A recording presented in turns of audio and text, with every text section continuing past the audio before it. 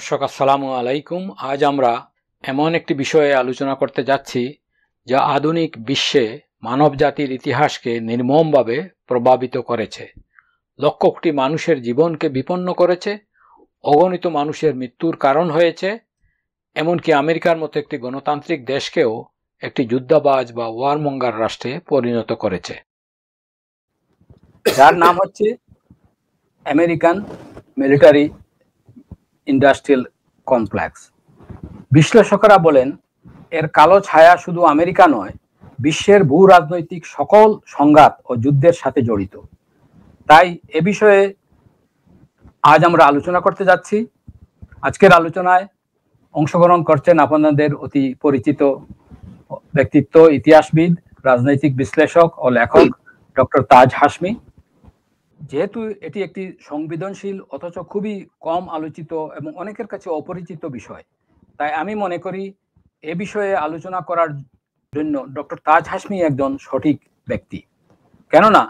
Doctor Hashmi হাওয়াইয়ের হনলুলুতে Asia Pacific Centre for Security Studies APCSS এর নিরাপত্তা বিষয়ে অধ্যাপক ছিলেন এবং তার প্রকাশিত বেস্ট সেলার তালিকার একটি বই global jihad and America the hundred year war beyond Iraq and Afghanistan সে বইও তিনি এ বিষয়ে আলোচনা করেছেন তবে এই আলোচনার প্রেক্ষাপট সাজাতে প্রথমেই আমরা মাত্র কয়েক মিনিটের একটি ভিডিও উপস্থাপনা শুনব ভিডিওটি যদিও ইংরেজিতে তবে ডাক্তার তাজ হাসমি তার আলোচনা বাংলায় রাখবেন তাই তাই আপনার কেউ যাবেন না যারা ইংরেজি বুঝতে অসুবিধা হয় আশা করি আমরা আপনারা সবাই সাথে থাকবেন তাহলে আমরা এখন ভিডিওটা শুনে আসি অনেক ধন্যবাদ আমাকে ডাকার জন্য আসসালামু আলাইকুম Dear viewer, today we are going to examine a subject that has brutally affected the history of mankind in the modern world, endangering the lives of millions of people and causing the deaths of countless people. Even a democratic country like America has been turned into a warmonger state. It's called the military-industrial complex. And in his farewell address, President Eisenhower warned the American people, as well as the world about it. In this video we will talk about the rise of the U.S. as a warmonger nation, the influence of the military-industrial complex. The United States emerged from World War II as the most powerful nation in the world. Its military might and economic strength made it a global superpower. However, the end of the war did not bring an end to America's involvement in conflicts around the world. In the years following World War II, the U.S. became known as a warmonger nation. It seemed as though America was always involved in some kind of conflict, either directly or indirectly. But why did this happen? President Dwight D. Eisenhower warned about the dangers of the military-industrial complex in his farewell address in 1961. Good evening, my fellow Americans. This evening I come to you with a message of leave taking and farewell, and to share a few final thoughts with you, my countrymen. In the councils of government, we must guard against the acquisition of unwarranted influence, whether sought or unsought, by the military industrial complex. He feared that the close relationship between the government and defense contractors would lead to an unending cycle of war and the erosion of democracy. The military-industrial complex refers to the collaboration between the government and defense contractors to produce and supply military equipment. This relationship is often driven by the pursuit of profit rather than the needs of national security.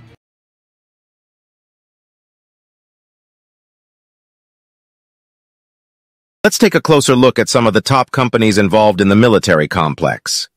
First on our list is Lockheed Martin Corporation, as one of the largest defense contractors in the world, Lockheed Martin specializes in aerospace, defense, and advanced technology systems. Their expertise ranges from the production of fighter jets and military helicopters to advanced missile defense systems. Next up is the Boeing Company, a renowned aerospace company that has a significant presence in the military complex. Boeing manufactures a wide array of military aircraft, rotorcraft, missiles, satellites, and defense systems. Raytheon Technologies Corporation is another major player in the defense industry. They are at the forefront of producing advanced defense systems, electronics, missile systems, and cybersecurity solutions. General Dynamics Corporation is a diversified defense company with a wide range of products. From manufacturing combat vehicles and ships to submarines and business jets, General Dynamics plays a crucial role in strengthening defense capabilities worldwide. Airbus SE, a European aerospace corporation, is not only involved in civilian aircraft, but also contributes significantly to military aviation. They manufacture military aircraft, helicopters, and defense systems, ensuring the armed forces have reliable and capable platforms. Thales Group, a French multinational company, provides a wide range of defense, aerospace, transportation, and security solutions. Their offerings include communication systems, radars, avionics, and various other critical technologies used in military operations. Critics argue that it has led to a culture of war and interventionism, while proponents argue that it has helped to maintain America's position as a global superpower. To conclude, we can say that whether or not the military industrial complex is to blame, one thing is clear. The U.S. has become a warmonger nation with a long history of interventionism and conflict around the world. Here is a list of wars in which the United States has been involved after World War II, categorized by region, along with brief descriptions. Asia. Korean War, 1950 to 1953 the United States intervened to support South Korea against North Korea's invasion, leading a United Nations coalition. Vietnam War, 1955 to 1975 the United States became heavily involved in a protracted conflict against communist forces in North Vietnam, supporting South Vietnam. South America. Guatemala, 1954 the United States supported a coup d'état that overthrew the democratically elected government of Jacobo Arbenz. Cuba, Bay of Pigs invasion, 1961 the United States sponsored an unsuccessful attempt by Cuban exiles to overthrow Fidel Castro's government. Dominican Republic, 1965 the United States intervened militarily to restore order during a period of political instability. Chile, 1973 The United States supported a military coup that overthrew President Salvador Allende's democratically elected government. Grenada, 1983 The United States invaded Grenada to remove a Marxist government and protect American citizens. Panama, 1989 The United States launched an invasion of Panama to overthrow Manuel Noriega's regime. Europe. Bosnia and Herzegovina, 1992 to 1995 The United States, as part of a NATO-led coalition, intervened in the Bosnian War to stop ethnic cleansing and establish peace. Kosovo War, 1998-1999 The United States, along with NATO allies, conducted airstrikes and implemented a peacekeeping mission to end the conflict between Serbia and Kosovo. Middle East Gulf War, 1990-1991 The United States led a coalition to expel Iraq from Kuwait after its invasion, in response to Kuwait's appeal for international assistance. War in Afghanistan, 2001 The United States, along with NATO allies, launched military operations against the Taliban and other terrorist groups in response to the September 11 attacks. Iraq War, 2003 to 2011 the United States, along with a coalition of international forces, invaded Iraq to remove Saddam Hussein's regime and eliminate perceived threats of weapons of mass destruction. Please note that these descriptions provide a general overview, and each conflict has its complexities and nuances.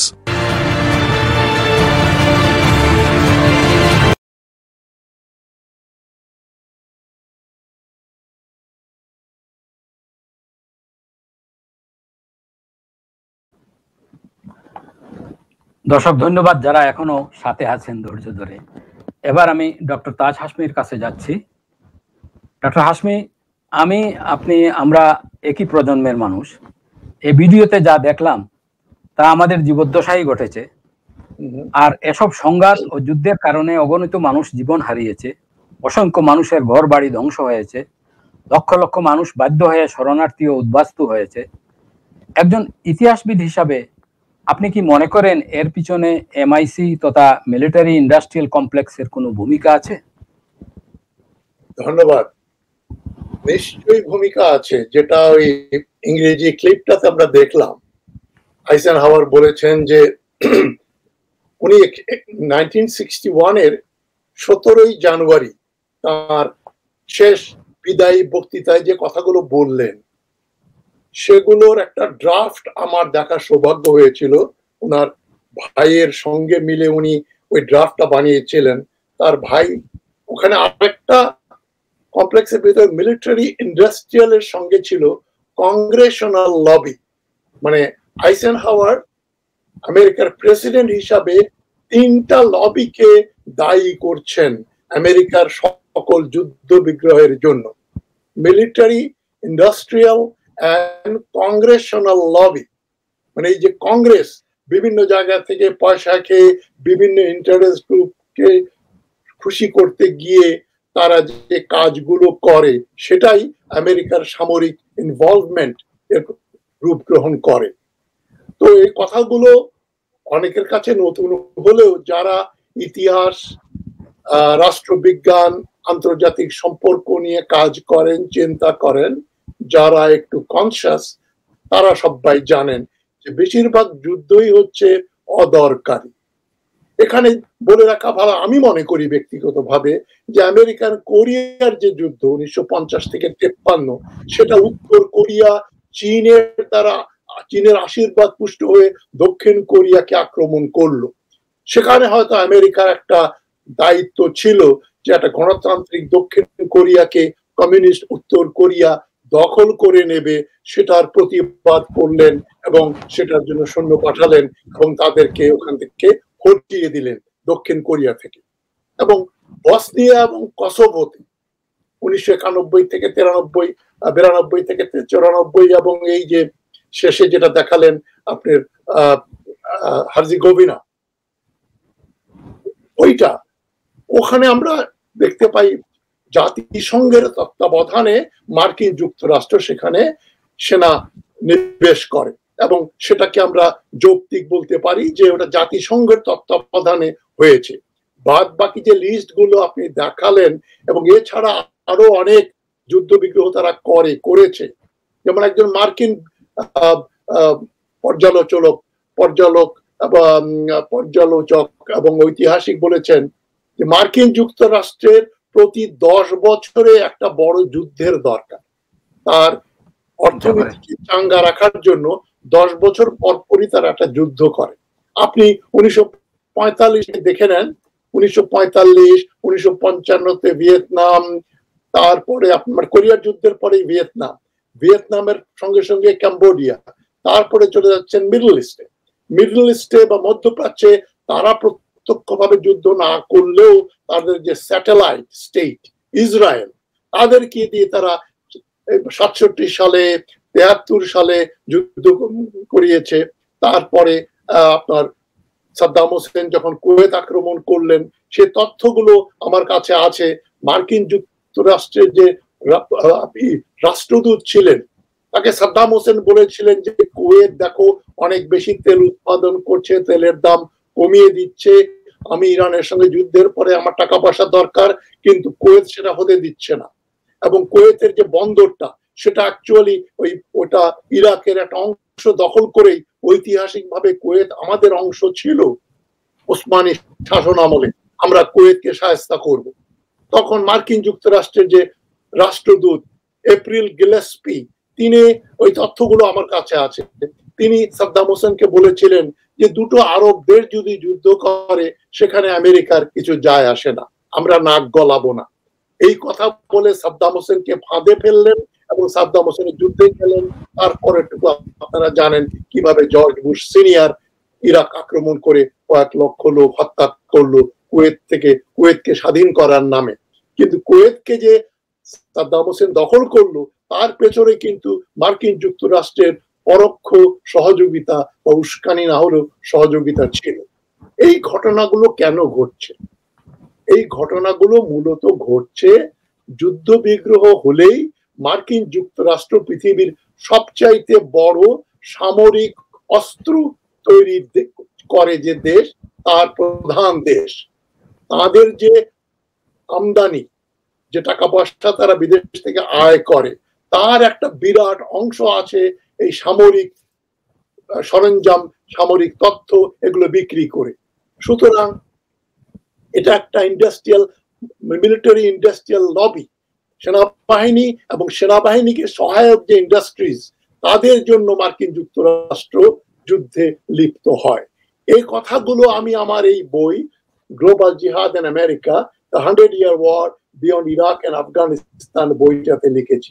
কিন্তু যেটা আপনি প্রথমেই বলেছেন যে আমি মার্কিন যুক্তরাষ্ট্রের military কলেজে চাকরি করতাম এপিসিএসএস সেখানে আমি এই আজ যে কথাগুলো বলছি এবং এই বইয়ে যে কথাগুলো আছে সেগুলো নেই তবে এই যে কথাগুলো আজকে এখানে বইতে লিখেছি সেটা লিখলে আমার চাকরি চলে যেত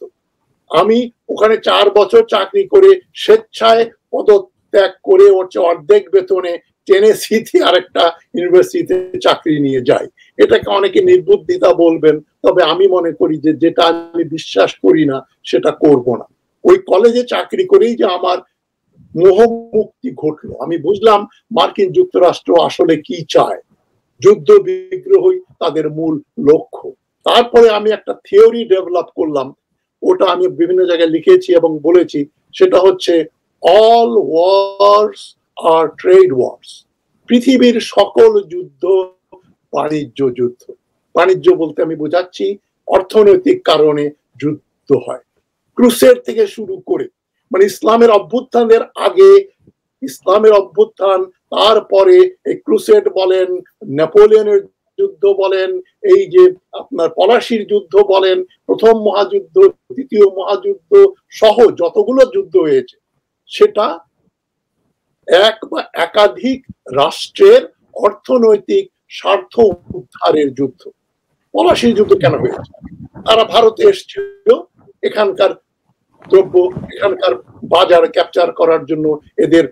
যে র ম্যাটেরিয়াল কাঁচা মালের বাজার এবং কাঁচা মাল তাদের নিয়ন্ত্রণে নেওয়ার জন্য প্লেন অ্যান্ড সিম্পল ব্যবসা বাণিজ্যের জন্য যে জন্য দেখবেন পলাশির যুদ্ধের সময়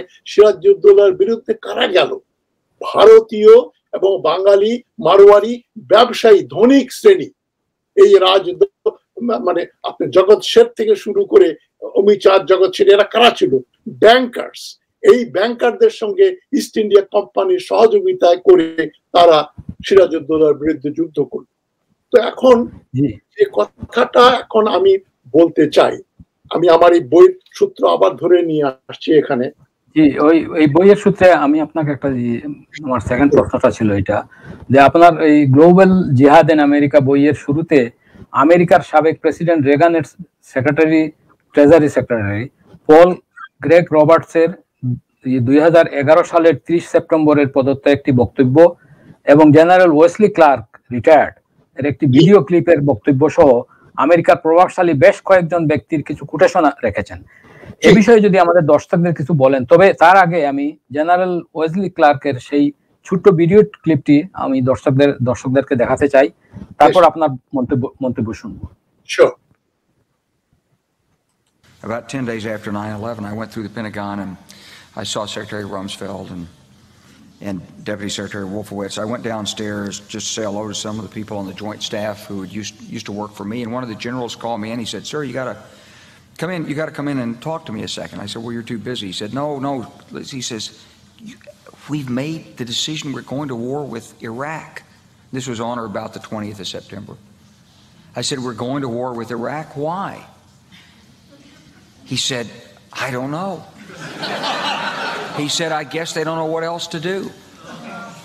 So uh, I said, well, did they find some information collect- connecting Saddam to Al Qaeda? He said,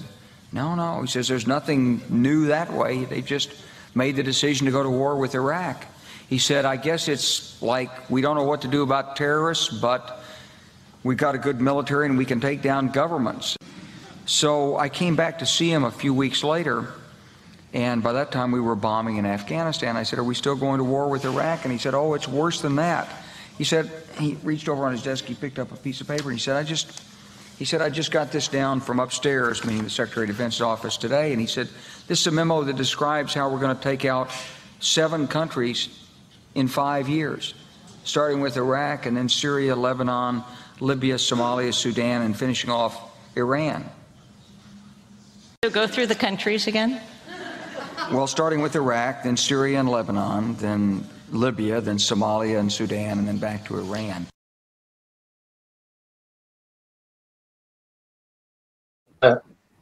চিন্তা করেন এই ভিডিওতে আমরা স্পষ্ট জানলাম নাইন ইলেভেন এর ঘটনার মাত্র দশ দিন পরে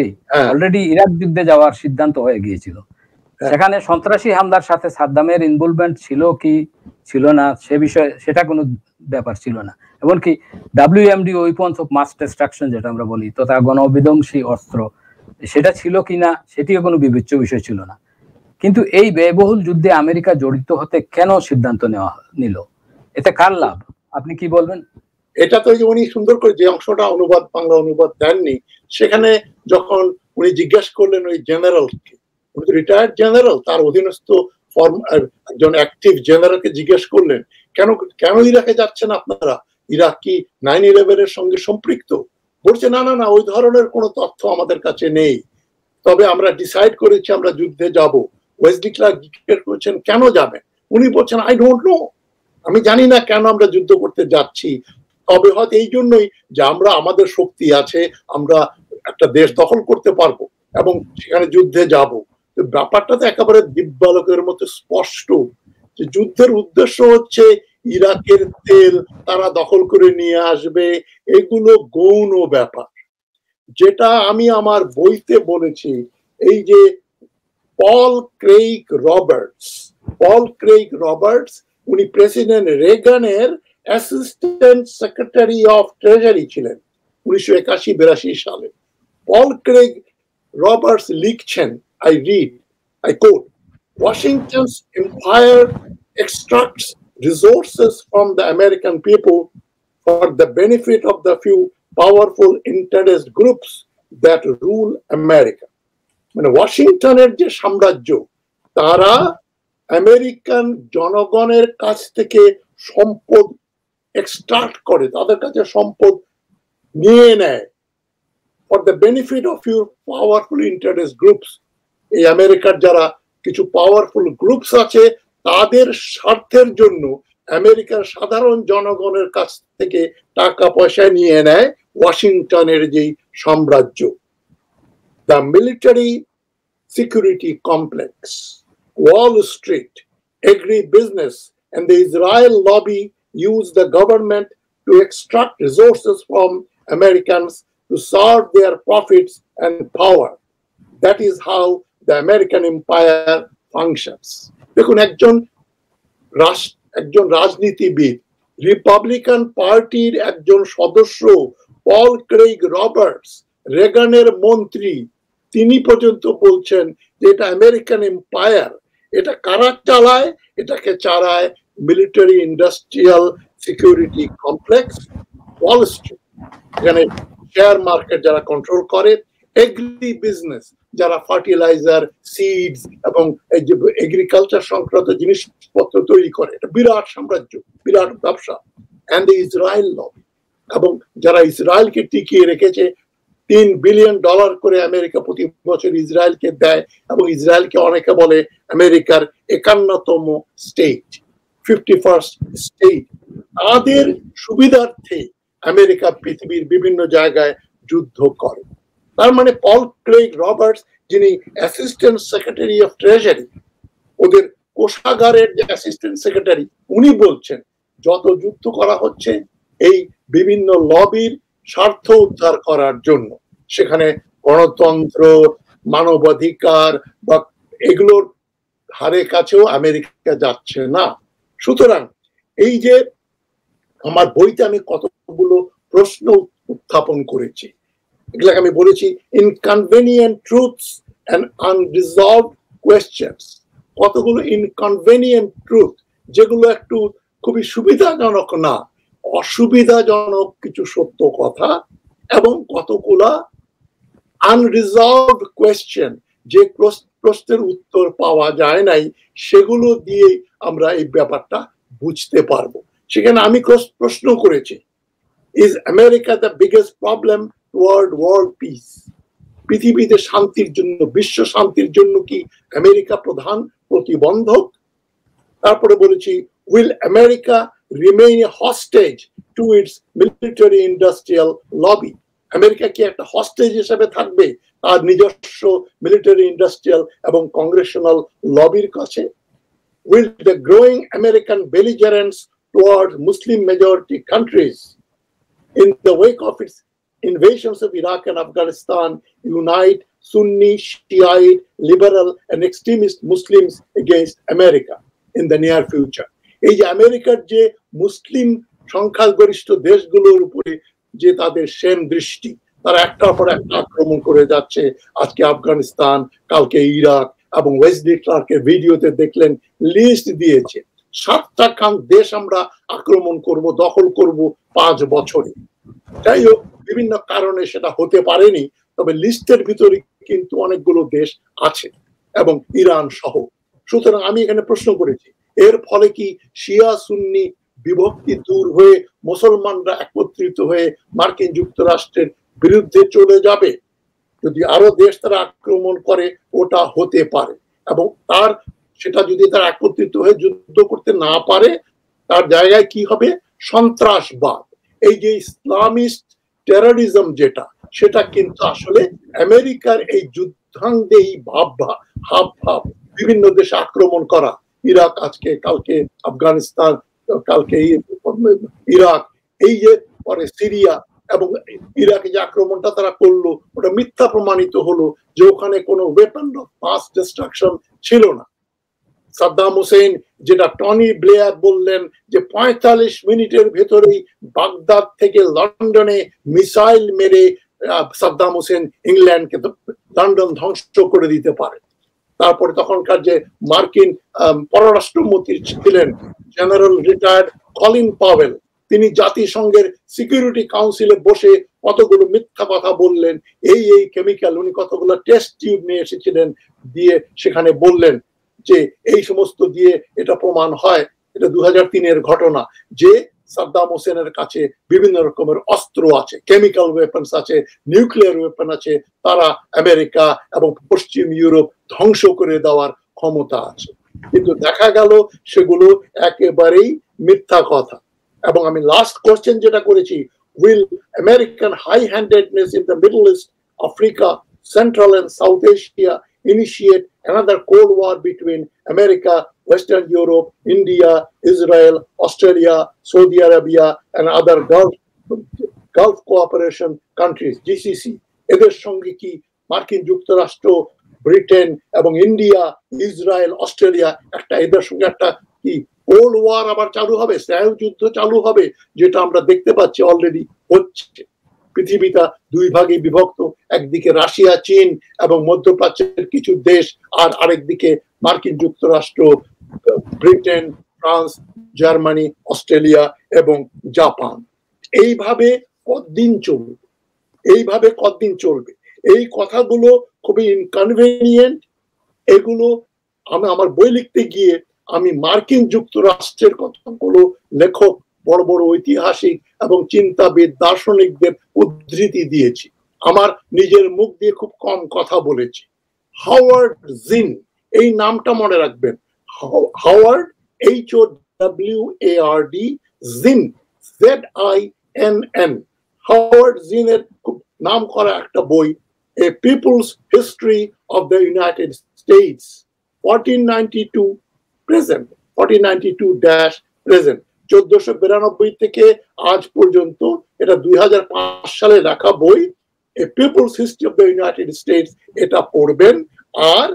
আপনার কফি টেবল বুক হিসাবে আপনারা বিখ্যাত মার্কিন প্রফেসর এবং চিন্তাবিদ নোম চমস্কি নোম চমস্কির নেসেসারি ইলিউশনস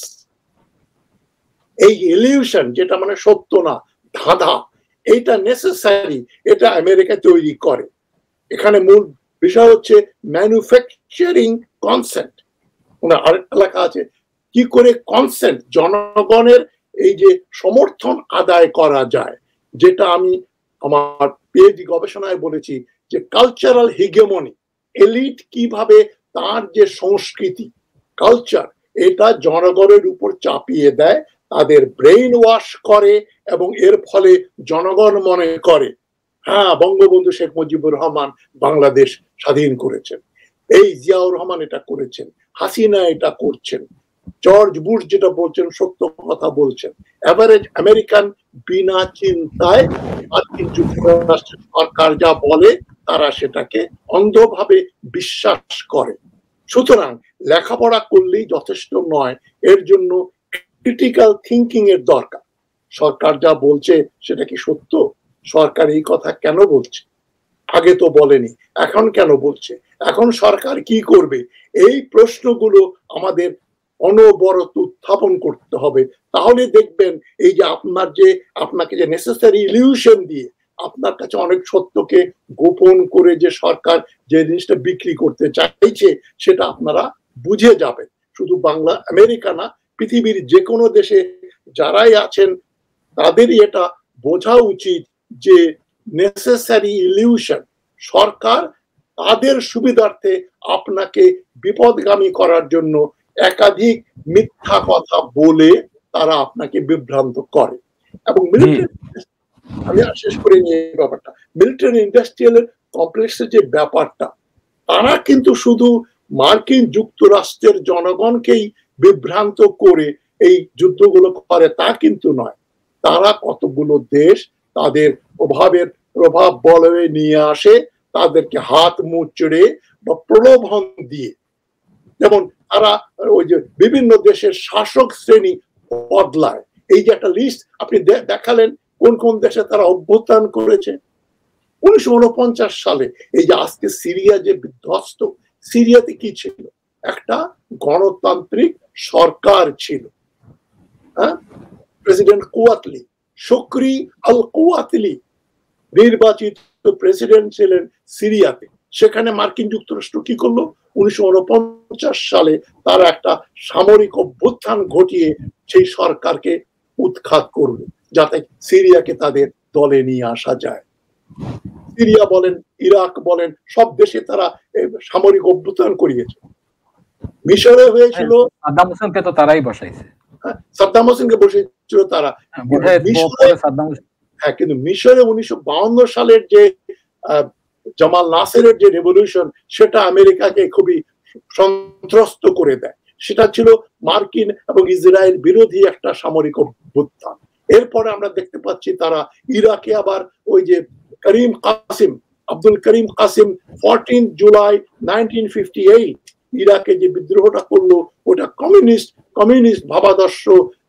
সোভিয়েত ইউনিয়নের পক্ষে ইরাকে একটা সামরিক অভ্যুত্থান ঘটাবে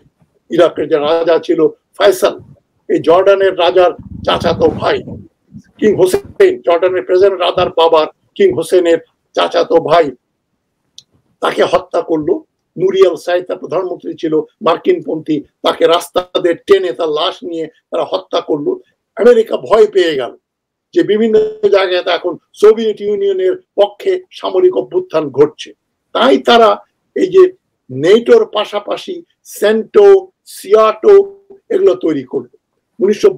সালে মিশরে সামরিক অভ্যুত্থান হলো মার্কিন বিরোধী পশ্চিমা বিরোধী তখন দেখা গেল সেন্টো সেন্ট্রাল ট্রিটি অর্গানাইজেশন এটা বোধহয় উনিশশো তেপ্পান্ন চুয়ান্ন সালে দেন সিয়াটো যেটা পাকিস্তানও মেম্বার ছিল সাউথইস্ট এশিয়া ট্রিটি অর্গানাইজেশন থাইল্যান্ডে ব্যাংককে ছিল তার headquarter Pakistan Thailand Philippines Britain America এরা মিলে একটা অ্যালায়েন্স করেছিল এখন আপনি বাংলাদেশের ব্যাপারে দেখবেন আমি নিয়ে আসছি যে বাংলাদেশে এখন কিন্তু মার্কিন যুক্তরাষ্ট্র এই যে হাসিনা সরকারকে বলছে তোমরা কবে general security of military information agreement GSOMIA, General Security of Military Information Agreement কবে করবে বারবার চাপ দিচ্ছে আরেকটা চাপ দিচ্ছে acquisition cross servicing agreement ACSA প্রথমটা হচ্ছে মিলিটারির ভিতরে বাংলাদেশ মিলিটারির সঙ্গে আমেরিকান মিলিটারির ইনফরমেশন শেয়ার করার একটা এগ্রিমেন্ট আর দ্বিতীয়টা এসিএসএ হচ্ছে acquisition ক্রস সার্ভিসিং এগ্রিমেন্ট এই যে ট্রেনিং মিউচুয়াল ট্রেনিং এবং অস্ত্র শস্ত্র সরবরাহের এগ্রিমেন্ট ওই ঘুরে ফিরে কিন্তু ওই যে মিলিটারি ইন্ডাস্ট্রিয়াল কমপ্লেক্সের ব্যাপার জাপানে যে শেখ হাসিনা যে চুক্তি করে আসলেন জাপান তাদের কাছে অস্ত্র বিক্রি করবে তার মানে কতগুলো কন্ডিশন দিয়ে দেয় এখন বাংলাদেশকে তারা বলছে তোমরা আমাদের সঙ্গে এগ্রিমেন্ট করো আমাদের অস্ত্র কেনো তাহলে তোমাদের জিএসপি দেবো জিএসপিটা কি জেনারেলাইজড সিস্টেম অফ প্রেফারেন্সেস যে তোমাদের জিনিসপত্র আমরা সস্তায় মার্কিন যুক্তরাষ্ট্রে ঢুকতে দেব যেটা উনিশশো চুয়াত্তর সালে তৈরি হয়েছে জিএসপির প্রলোভন দেখিয়ে তারা বাংলাদেশকে হাত মুচড়িয়ে বলছে তোমরা জিএসও এমআইএ ও এ সাইন করো আমাদের সঙ্গে মিলিটারি ইনফরমেশনের শেয়ার করার এগ্রিমেন্ট এবং military cross servicing agreement training and equipment সংগ্রহ করা তার মানে আমাদের অস্ত্র কেনার একটা অ্যাগ্রিমেন্ট তোমরা আমাদের সঙ্গে করো এবং একটা বেস মিলিটারি বেসও তারা করতে চাচ্ছে এইগুলো কিন্তু বিচ্ছিন্ন ঘটনা নয় এবং এর হাত থেকে মুক্তি না পেলে আমরা বিশ্ব শান্তি একটা সুদূর পরাহত ব্যাপার রয়ে যাবে এবং এটা বোঝার জন্য আমাদের এই এই মিলিটারি ইন্ডাস্ট্রিয়াল কমপ্লেক্সটা কি চায় এটা বুঝতে হবে এটা শুধু যুদ্ধের ব্যাপারই না ইন্ডাস্ট্রিয়াল কমপ্লেক্সটা কত পাওয়ারফুল আমি আপনাকে একটা ব্যক্তিগত একটা উদাহরণ দিয়ে আমি দেখাচ্ছি আমি যখন হনলুলুতে হাওয়াইতে ছিলাম হনলুলু হচ্ছে ওয়াহু একটা দ্বীপ আটটা বড় বড় দ্বীপের একটা দ্বীপ হচ্ছে ওয়াহু ওয়াহু থেকে Maui M A U I Maui দ্বীপে যাওয়ার একটা ফেরি চালু করা হল মানে ওই জাহাজে করে সাত সাত আটশো লোক সাত আটশো গাড়ি নিয়ে তারা ওয়াহু থেকে মাউই এবং মাউই থেকে ওয়াহু বা হনলুলু আসতে যেতে পারবে ওই ফেরিতে আমারও যারা সৌভাগ্য হয়েছিল আমরা আটশো গাড়ি আটশো লোক নিয়ে যায় কিন্তু সেটার প্রতিবাদ করলো কারা ওখানে কতগুলো আমেরিকার কতগুলো এয়ারলাইন্স ছিল যারা ওয়াহু এবং মাউির ভিতরে বিমান চলাচল করে এবং ওর খরচ হয় একশো ডলারের বেশি এবং ফেরিতে গেলে চার ঘন্টার মতো লাগে খরচ মাত্র তিরিশ ডলার আর বিমানে গেলে দেড়শো ডলার কিন্তু ওই বিমান কোম্পানির সুবিধার জন্য তারা করলো কি ওই ফেরিটা বললো যে না এতে মাউির এনভায়রনমেন্ট নষ্ট হয়ে যাবে অনেক বেশি টুরিস্ট আসবে এবং এর ফলে মানে ওখানে হচ্ছে পেট্রোলিয়াম লবি যে ওয়াহুতে যখন মাউই যাবেন আপনি গাড়ি রেন্ট করবেন কেননা আপনি প্লেনে করে যাচ্ছেন গাড়ি নিতে পারছেন না গাড়ি রেন্ট করবেন পেট্রোল কিনবেন কত লোক লক্ষ লক্ষ লোক বছরে যায় তাদের ইনকাম হবে যদি আপনি ফেরিতে করে যান তাহলে আপনি নিজের গাড়ি চালিয়ে যাবেন ওইখানে যে কার রেন্টাল কোম্পানি আছে ট্যাক্সি সার্ভিসিং আছে এয়ারলাইন এয়ারলাইনের থেকে এয়ারপোর্ট থেকে বিভিন্ন জায়গায় যাওয়ার যে গাড়ি সবগুলো বেকার হয়ে যাচ্ছে সুতরাং ওই বড় বড় ইন্ডাস্ট্রিয়াল কমপ্লেক্সের জন্য পেট্রোলিয়াম এবং এয়ারলাইন্সকে টিকিয়ে রাখার জন্য ওই ফেরিটা তারা তিন চার মাস পরে বন্ধ করে দেয় এখনো বন্ধ রয়েছে তো এটা কি জন্য একটা ইন্ডাস্ট্রির সুবিধার জন্য আপনার যে জন্য মার্কিন যুক্তরাষ্ট্রে আপনি দেখবেন খুব ওই যে রকেট যেটাকে বলে বুলেট ট্রেন জাপান এবং চীন এবং কোরিয়া যদি বুলেট ট্রেন বানাতে পারে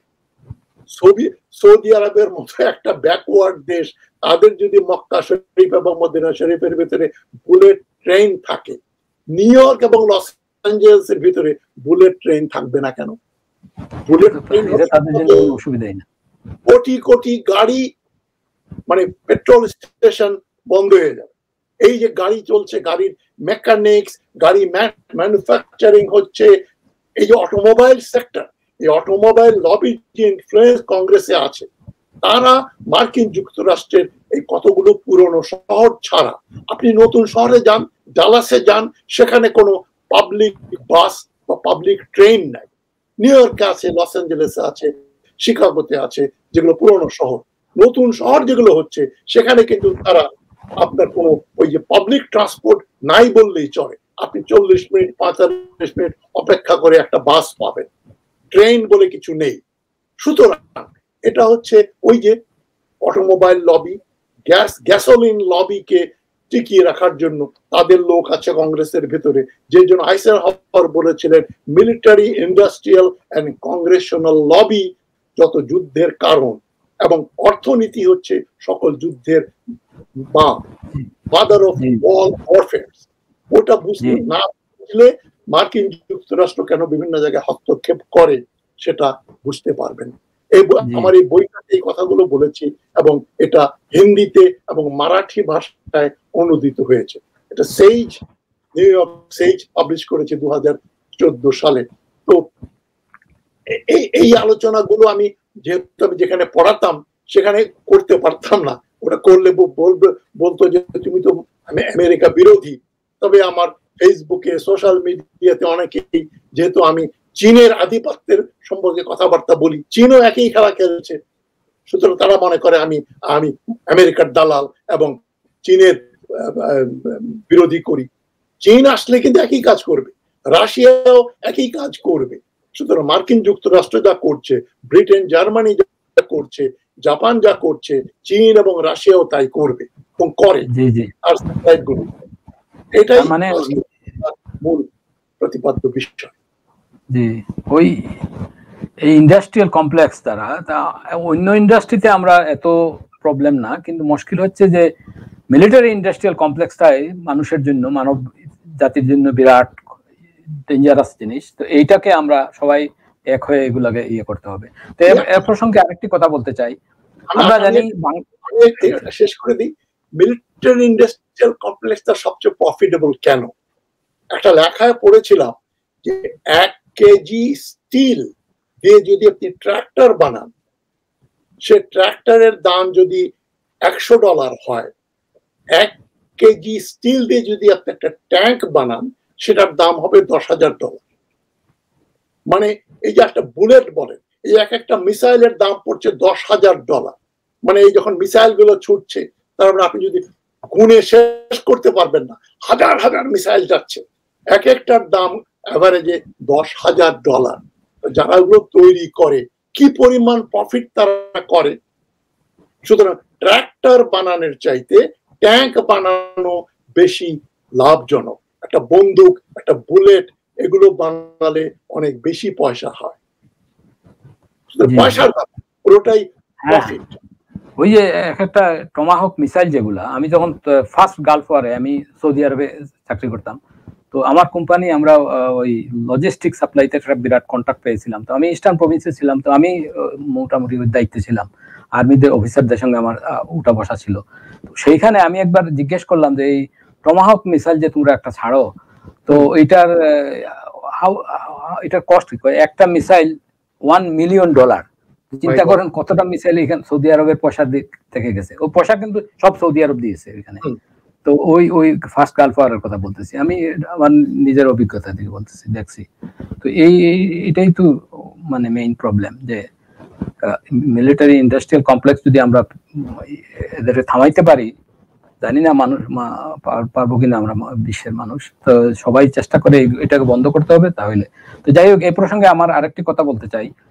আমরা জানি বাংলাদেশ সহ তৃতীয় বিশ্বের মানুষ জীবনের প্রাথমিক প্রয়োজনগুলি পূরণ করতেই জনগণের প্রাণ অষ্টাগত আর এ দেশগুলোতে যেখানে অগণিত নাগরিকের তার চিকিৎসার জন্য ঘর বাড়ি জমি বিক্রি করে নিঃস্ব হয়ে যায় সামান্য বেতন বাড়ানোর জন্য দেশের ভবিষ্যৎ গড়ার কারিগর শিক্ষকরা অনশন ধর্মঘট করেন বাংলাদেশে তার উদাহরণ আছে সেখানে এই দেশগুলোর সেনাবাহিনী পুষতে কল্পনার বাহিরে টাকা খরচ হয় এই এই এটার কি কোনো এই প্রায়োরিটি দেওয়ার কি কোনো দরকার আছে যেটা পাকিস্তানের ব্যাপারে বলেছি সেদিন যে পাকিস্তান এত বড় সেনাবাহিনী এবং তাদের যে সামরিক অফিসারদের যে মানে কি শান শকত প্রতিপত্তি অলমোস্ট বিনা পয়সায় জমি জমা ব্যবসা বাণিজ্য তারা জাঁকিয়ে বসে থাকেন এবং আশা সিদ্দিকার যে বইটার কথা আমি বলেছিলাম মিলিটারি ইন সেখানে বলেছে যে এটা বেশ কয়েক বছর আগেই একটা আর্মি জেনারেল রিটায়ার করলে সে কমপক্ষে এক মিলিয়ন ডলারের মালিক হয় পাকিস্তানে এখন তো ইনফ্লেশনের ফলে ওটা দুই মিলিয়ন ডলার হয়েছে বাংলাদেশের কিন্তু তাই আপনি একটা আর্মির জেনারেলদের একজন ঢাকা বিশ্ববিদ্যালয়ের মনে করেন খুব নাম করা একজন আন্তর্জাতিক খ্যাতি সম্পূর্ণ প্রফেসর রিটায়ার করলে বড় জোর একটা অ্যাপার্টমেন্ট কিনতে পারেন একটা পুরানো গাড়ি চালাতে পারেন কিন্তু একজন মেজর জেনারেল একজন লেফটেন্যান্ট জেনারেল একজন ফুল জেনারেল কর্নেল দের যে প্রভাব প্রতিপত্তি টাকা পয়সা আমি যখন ঢাকা বিশ্ববিদ্যালয়ে চাকরি করতাম সেই উনিশশো সত্তরের দশকে তেহাত্তর থেকে একাশি পর্যন্ত আমি যে বেতন পেতাম আমি যে সুযোগ সুবিধা পেতাম সেটা আর্মির একজন সুবেদার মেজরের সমানও না লেফটেন্যান্ট বা ক্যাপ্টেন তো দূরের কথা আমি ফার্স্ট ক্লাস পেয়ে বিশ্ববিদ্যালয়ে ঢুকে ভালো ছাত্র হিসাবে একটা সম্মানজনক পজিশনে ছিলাম কিন্তু আমার প্রতিপক্ষ বা আমার যারা সহজকর্মী ছিলেন বন্ধু বান্ধব ছিল মেজর বা লেফটেন্যান্ট কর্নেল তাদের কাছে আমার মানে স্ট্যাটাস খুব বেশি হলে একটা কেরানির মতো যে দেশে শিক্ষকদেরকে কেরানি বা চাপরাশির মতো ট্রিট করা হয় সে দেশে তো জ্ঞান বিজ্ঞানের চাইতে একজন কর্নেল সাহেব মেজর জেনারেল অমুক তমুক মানে ও জীবনে একটা যুদ্ধ করে নাই এই এরকম এরকম বীর বীরুত্তম অমুক তমুক আবার যুদ্ধের পরে এখন যেগুলো আছে এই মানে কোন রকম ভাবে তারা ওখানে ঢুকেছে তারপরে এখন তাদের প্রভাব প্রতিপত্তি ডিওএইচএস আরে বাবা গুলশান বাড়ি বাড়িধারা বনানিতে জমি এটা ক্যাপিটালিজমের যুগ ফ্রি মার্কেট ইকোনমির কথা বলো মার্কেটে ছেড়ে দাও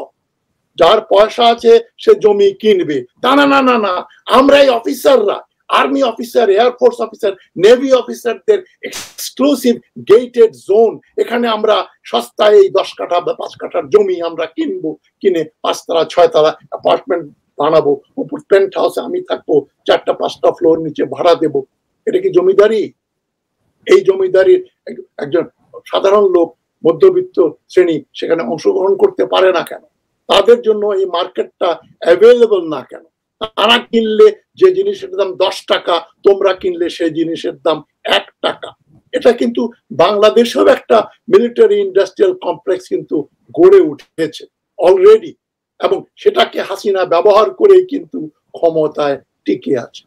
ভাগ বটোয়ারা হচ্ছে আমাদের পার্লামেন্টারি সরকার পার্লামেন্ট মেম্বার মন্ত্রী এবং সেনাবাহিনীর অফিসার এবং সেখানে পুলিশও যোগ দিয়েছে এরা মিলে বাংলাদেশ চালাচ্ছে মিলিটারি ইন্ডাস্ট্রিয়াল কমপ্লেক্সের দ্বারা আদের সুবিধার্থে মার্কিন যুক্তরাষ্ট্রও তাই জি যেখানে জন মানুষের জীবন সাধারণ মানুষের জীবনকে উন্নত করা যেটা প্রায়োরিটি হওয়া উচিত ছিল সেটা না হলে দেখেন সামরিক ক্ষেত্রে এটি মানে এত পয়সা খরচ করা হচ্ছে তো আমি মনে করি সারা বিশ্বে সেনাবাহিনী উচ্ছেদ করে গণবাহিনীর প্রথা করলে কেমন হয় সুইজারল্যান্ডে তো কোনো রেগুলার সেনাবাহিনী নেই কোনো সলিউশন না সেনাবাহিনী থাকতেই হবে ওটা কর্নেল তাহেরের অ্যানার্কিস্ট কথাবার্তা যে আমরা গণবাহিনী করব না আমি আমি সেটা বলতেছি না যে ওটা ওটা হলে ওটা হবে গণবাহিনী না ট্রেন্ড প্রফেশনাল আর্মি থাকবে এয়ারফোর্স থাকবে আমাদের এত বড় এয়ারফোর্স আর্মি আছে কই মিয়ানমার দশ লক্ষ লোক রোহিঙ্গা ঠেলে ভিতরে পাঠিয়ে দিল ওই এই যে ডিওএইচএস যারা বাড়ি ঘর কিনে বসে আছেন জেনারেল সাহেবরা আপনারা কি করলেন আপনারা কি ভেরান্ডা ভাবছেন আপনাদের তো উচিত ছিল মিয়ানমারের বর্ডারে গিয়ে ওদেরকে যুদ্ধ করে পরাহত করা কিন্তু আপনারাই বলেন মিলিটারি ইন্টেলিজেন্স ইন্টেলিজেন্সের লোকজনই বলেন যে মিয়ানমারের কাছে যুদ্ধ করলে আমরা সাত দিন থেকে পনেরো দিন টিকব তাহলে আপনারা আমরা আপনাদের এত পয়সা করি দিয়ে পালছি কেন আপনারা ব্যাংক চালাচ্ছেন আপনারা সেনা কল্যাণ পরিষদ তারপরে আপনাদের ডিওএইচএস এগুলোর তো দরকার নাই গণবাহিনী মানে সারা দেশের সমস্ত লোককে মিলিটারি ট্রেনিং দেওয়া উচিত কম্পালসারি আঠারো বছর বয়স হলেই বাংলাদেশের সমস্ত নাগরিককে আড়াই দুই থেকে আড়াই বছরের জন্য একেবারে বাধ্যতামূলক সামরিক ট্রেনিং দিতে হবে যেটা সুইজারল্যান্ডে আছে ফিনল্যান্ডে আছে সিঙ্গাপুরে আছে সিঙ্গাপুরে আমি আমি সেটাই বলতে চাইছিলাম আমি সেটাই বলতে চাইছিলাম জি আড়াই বছর আপনাকে ট্রেনিং নিতে হবে তাহলে কিন্তু সেনাবাহিনী এবং পুলিশ এই গুলি করে রেহাই পেত না তাহলে জনগণ সামরিক ট্রেনিং থাকলে বন্দুক তো খেলনা সব জায়গায় পাওয়া যায় এই হাসিনার দৌরাত্ম থেকে আমরা মুক্ত মুক্তি পেতাম যদি দেশের প্রতিটা নাগরিক সামরিক ভাবে ট্রেন্ড হতো বলছি যে একটা একটা ইয়ে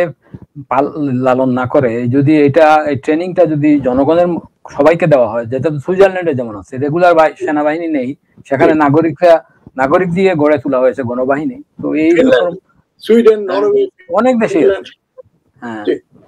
তো দর্শক আমরা আলোচনার শেষ পর্যায়ে এসে গিয়েছি পরিশেষে আমরা একথা বলতে পারি যে মিলিটারি ইন্ডাস্ট্রিয়াল কমপ্লেক্সের কালো ছায়া থেকে দূরে থাকতে হলে প্রতিটি রাষ্ট্রের প্রতিরক্ষা খরচে মিলিটারি বাজেটে স্বচ্ছতা এবং জবাবদিহিতা বাড়াতে হবে অস্ত্র শিল্পের লবিস্টরা যাতে রাজনীতিবিদদের কাছে সহজে বিড়তে না পারে সেই জন্য ব্যবস্থা থাকতে হবে এবং অস্ত্র শিল্পে জড়িত কোম্পানিগুলোর তদবির কার্যক্রমে প্রতিরক্ষার